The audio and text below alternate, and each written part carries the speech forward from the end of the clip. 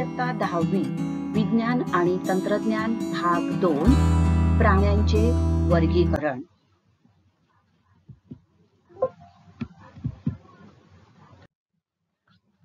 मागील व्हिडिओमध्ये आपण प्राणीसृष्टीचे वर्गीकरण असमपृष्ठरज्जू प्राणी व समपृष्ठरज्जू प्राणी यामध्ये केले जाते आणि त्यानुसार वर्गीकरणाचे विविध आधारभूत मुद्दे जे आहेत त्यांचा अभ्यास केलेला आहे.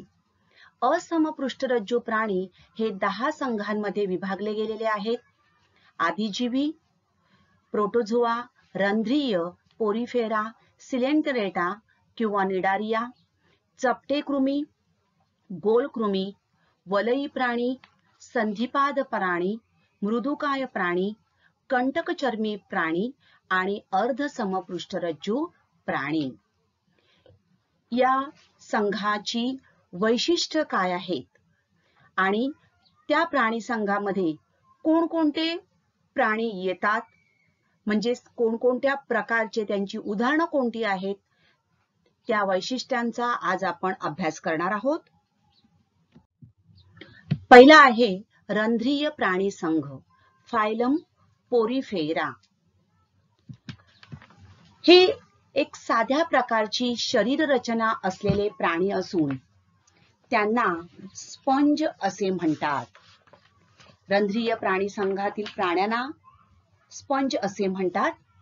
या प्राण्यांच्या शरीरावर असंख्य छिद्रे असतात आणि त्या छिद्रांना ऑस्टिया आणि ऑस्क्युला असे म्हणतात. या ठिकाणी तुम्हाला दिसत आहेत बरीच छिद्र आहेत बघा अंगावर त्यांच्या आणि या छिद्रांना ऑस्टिया आणि ऑस्क्युला असं म्हणतात. आता यांचं कार्य नेमकं कोणतं? हे जे ऑस्टिया जे आहेत ह्या ठिकाणी तुम्हाला दिसतंय बघा. ऑस्टियम एक असेल तर त्याला ऑस्टियम म्हणतात आणि अनेक तर ऑस्टिया. आणि ऑस्क्युला सिंगल एक असेल तर ऑस्क्युलम.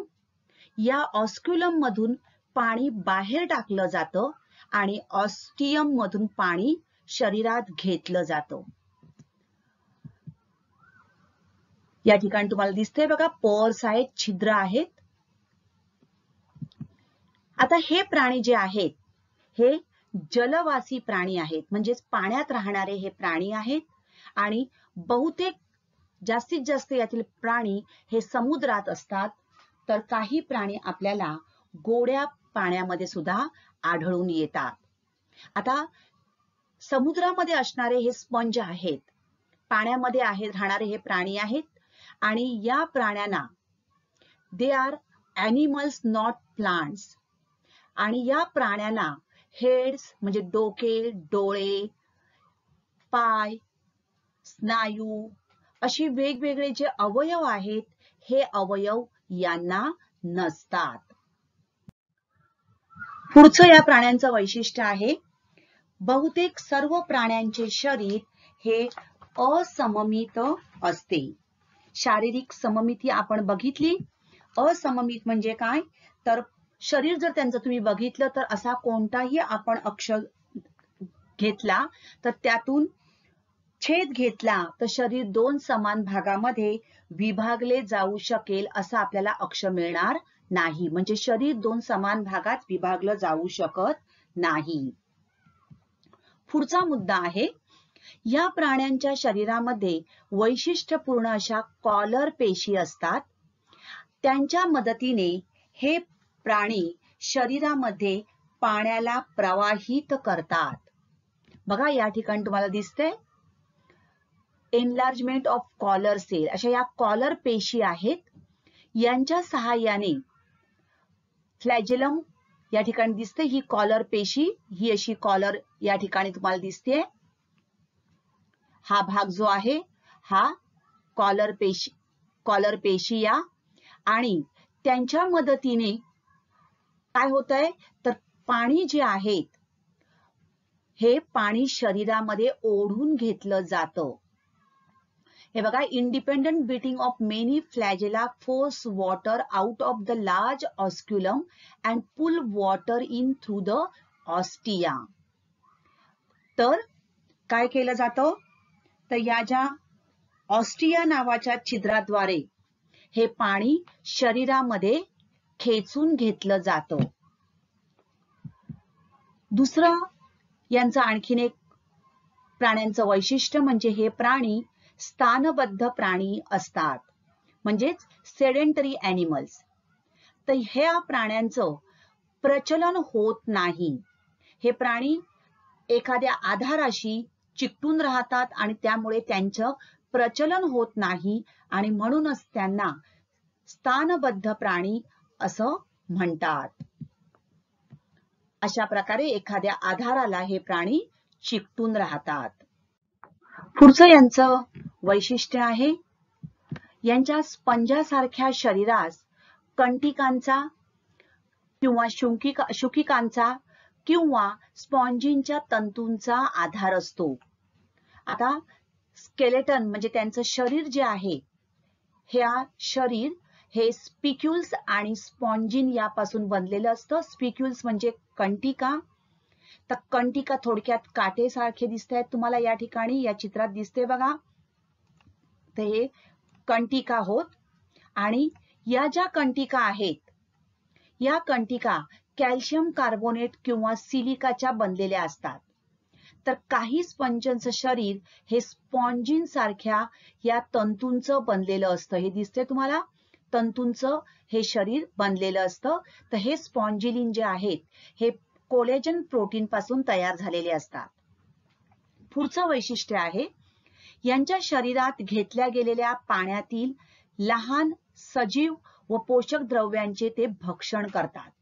आता या ठिकाणी बघा या ठिकाणी हे पाणी जे आहे हे ऑस्ट्रिया मार्फत हे पाणी असं आत घेतलं जातं. पाणी आत घेतानाच स्पॉन्जेस आर फिल्टर फिडर्स. तर ही जी कॉलर विशिष्ट अशी कॉलर सेल जी असते त्याच्या सहाय्याने ते पाणी जणू फिल्टर करतात. आणि त्यामुळेच त्यांना खाणं म्हणजे इटिंग ब्रीथिंग एक्सक्रीट एक्सक्रेशन ही जी सगळी त्यांची कार्य आहेत ती सगळी या कशा ह्याच्याप्रमाणे चालतात ही ही जे वैशिष्ट्यपूर्ण अशा पेशी आहेत त्यांच्या मार्फत चालतात. आता या ठिकाणी बघा ऑस्ट्रिया नावाच्या छिद्राद्वारे पाणी शरीरात घेतलं जातं. या ठिकाणी दिसते बघा शरीरात घेत असताना त्याच्याबरोबर ही जी फूड पार्टिकल्स आहेत ती सुद्धा आत येतात. या ठिकाणी ही फूड व्हॅक्युअल आहे रिक्तिका आहे. तर हे घेतलेलं जे अन्न आहे ते त्या फूड व्हॅक्युअलमध्ये जातं. Particles of food food are drawn in to the collar to became trap. आणि अशा प्रकारे या फूड व्हॅक्युअलमध्ये त्या अन्नाचं पचन केलं जातं. तर ऑस्ट्रिया मार्फत हे पाणी जेव्हा शरीरात घेतं त्या पाण्यामार्फत काही लहान सजीव किंवा पोषक द्रव्य जे आहेत ती सुद्धा त्यांच्या शरीरात येतात आणि या फूड व्हॅक्युअलमध्ये अन्न रिक्तिकेमध्ये त्यांचं पचन केलं जातं. तर अशा प्रकारे ऑस्ट्रिया नावाच्या छिद्राद्वारे पाणी शरीरात घेतलं जातं आणि ऑस्क्युला नावाच्या छिद्राद्वारे पुन्हा ते पाणी बाहेर सोडलं जातं. गप. अशा प्रकारे हे आत आलंय आणि पुन्हा बाहेर टाकलं जातं. त्यांचे प्रजनन जे आहे ते मुकुलायन या अलैंगिक पद्धतीने किंवा लैंगिक पद्धतीने होते. बघा असेक्शुअल रिप्रोडक्शन बडिंग मुकुलायन पद्धतीने होते. या ठिकाणी असा एक बघा तळाशी एक छोटासा हा मुकुल दिसतो तुम्हाला वाढतो. हा मुकुल हळूहळू वाढतो आणि मोठा झाल्यानंतर तो मूळ पेशीपासून वेगळा होतो आणि नव्या कोणत्या तरी या आधाराला तो जॉईन होतो. तर अशा प्रकारे त्यांचं प्रजनन होतं. तर काही वेळेला त्यांचं प्रजनन रि पुनरुद्भवन क्षमता जी असते त्याच्या सहाय्याने या रिजनरेशन ऑफ स्पॉन्जेस अशा प्रकारे काही तुकड्यांमार्फत त्याच्यापासून सुद्धा नवीन स्पंज तयार होऊ शकतात. तर अशा प्रकारे त्यांचं प्रजनन होतं. या रंध्रीय प्राणी संघामध्ये असणारे विविध प्राणी कोणकोणते आहेत? तर बघा सायकॉन युस्पोंजिया म्हणजेच आंघोळीचा स्पंज हायालोनिमा किंवा युप्लेक्टेला. तर हे काही विशेष या संघामध्ये येणारे प्राणी आहेत. पुढचा आपण प्राणी संघ अभ्यासणार आहोत सिलेंटराटा किंवा निडारिया हा प्राणी संघ. या चित्रामध्ये तुम्हाला दिसतंय बघा. शरीराचा त्यांच्या आकार. या प्राण्यांच्या शरीराचा आकार हा आपल्याला कसा दिसतोय बघा? तर दंडाकृती किंवा छत्रीच्या आकारासारखा असतो. दंड गोलाकार असा दंडाकृती असा यांचा आकार किंवा छत्रीसारखा आकार असतो. दंडाकृती जर शरीर असेल तर त्याला बहुशुंडक असं म्हटलं जातं. आणि छत्रीच्या आकाराचे शरीर असेल तर त्याला छत्रिक असे म्हणतात. हायड्रा तुम्ही बघितलं आता उदाहरण किंवा या ठिकाणी चित्रात तुम्हाला दिसते बघा. दंडाकृती शरीर आहे आणि या ठिकाणी ही शुंडक आहेत याला म्हणतात बहुशुंडक पॉलिप आणि जर छत्रीच्या आकारासारखं असेल या ठिकाणी ही शुंडक आहेत बघा. आणि वरती ही छत्रीसारखी आहे. तर त्याला म्हणतात छत्रिक मेडुसा असं म्हणतात. हे प्राणी बहुतांशी समुद्रामध्ये आढळतात. फारच मोजके प्राणी आपल्याला गोड्या पाण्यामध्ये आढळून येतात. या प्राण्यांच्या मुखाभोवती दंश पेशीयुक्त शुंडके असतात. या ठिकाणी दिसते तुम्हाला बघा या शुंडकाचा उपयोग ते भक्ष्य पकडण्यासाठी करतात. तुम्हाला या ठिकाणी सी अॅनिमोन किंवा जेलीफिश दिसतोय बघा. कशा प्रकारे या शुंडकाच्या सहाय्याने ते आपलं भक्ष्य पकडत आहेत. तर शुंडकाचा द आणि ही शुंडक जी आहेत ही दंश पेशीयुक्त असतात. म्हणजे ज्या वेळेला ही शुंडक समोरच्या प्राण्यावर फेकली जातात किंवा मारली जातात त्यावेळेला त्या प्राण्याला दंश होतो आणि त्या दंश पेशी भक्ष्याच्या शरीरात विषाचे विष सोडतात आणि आपलं भक्ष पकडतात. तर काही वेळेला या शुंडकाचा उपयोग त्यांना स्वतःच्या संरक्षणासाठी सुद्धा करता येतो. तर स्वतःच्या संरक्षणासाठी सुद्धा या शुंडकाचा या प्राण्यांना उपयोग होतो. पुढचं या प्राण्यांचं वैशिष्ट्य आहे. या प्राण्यांचं शरीर अरिय सममित आणि द्विस्तरीय असते. अरिय सममित म्हणजेच बघा रॅडियल सिमेट्री शरीराच्या मध्य अक्षातून जाणाऱ्या कोणत्याही प्रतलातून छेद घेतला तर दोन समान भाग आपल्याला आढळून येतात. जेलीफिश हायड्रा सी अॅनिमोन आपल्याला काय दिसते अरिय सममिती दिसून येते. तसंच यांचं शरीर द्विस्तरीय असते. या प्राणी संघामध्ये आढळणारे विविध प्राणी जलव्याल म्हणजेच हायड्रा प्रवाळ कोरल्स वेगवेगळ्या प्रकारची कोरल्स जेलीफिश समुद्रफूल सी अॅनिमोन आणि Portuguese man of war Physalia हा प्राणी त्याला पोर्तुगीज मॅन ऑफ वॉर असंही म्हटलं जातं. तर हे विविध प्राणी या प्राणी संघामध्ये आढळून येतात. आता या प्राणी संघाचं आणखीन एक वैशिष्ट्य आपण बघणार आहोत. या प्राणी संघामध्ये प्रामुख्याने आपल्याला प्रवाळ आढळून येतात. तर प्रवाळ समुद्रामध्ये आपल्याला प्रवाळ खडक दिसून येतात. आता हे प्रवाळ खडक म्हणजेच काय? तर प्रवाळ खडक म्हणजेच निडारिया संघातील प्राण्यांची एक मोठी वसाहत असते.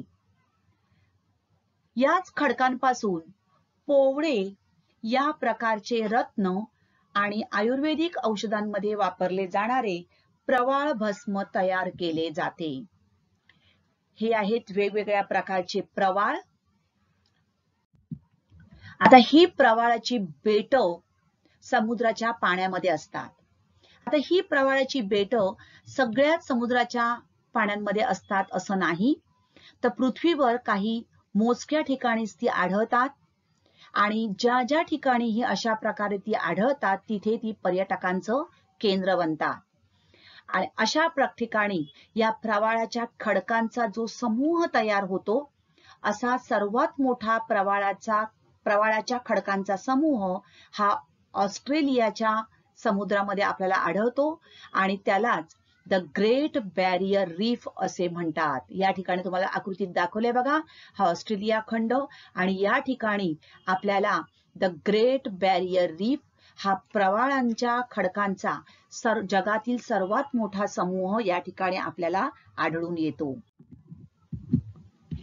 तर हे आहेत प्रवाळांचे वेगवेगळे प्रकार. त्यापैकी काही प्रवाळांची पूड त्याच्यावर कॅल्शियम कार्बोनेटपासून हे बनलेले असतात. त्यामुळे कॅल्शियम कार्बोनेटचा स्त्रोत म्हणून आयुर्वेदिक औषधामध्ये यांचा वापर केला जातो. तर काही ठराविक गार्गोनिया या ठिकाणी हे तुम्हाला दिसते बघा. Gorgonia sea fan coral. समुद्रपंखा या प्रवाळामध्ये कॅल्शियम कार्बोनेट बरोबर गार्गोनिन नावाचं एक प्रथिन असतं आणि ते लाल पोवळे किंवा रक्त प्रवाळ म्हणून प्रसिद्ध आहे. आणि त्याचा उपयोग अलंकार वगैरे करण्यासाठी केला जातो. तर पोवळे या प्रकारचे रत्न आणि आयुर्वेदिक औषधांमध्ये वापरले जाणारे प्रवाळ भस्म हे या प्रवाळांपासून तयार केले जातात.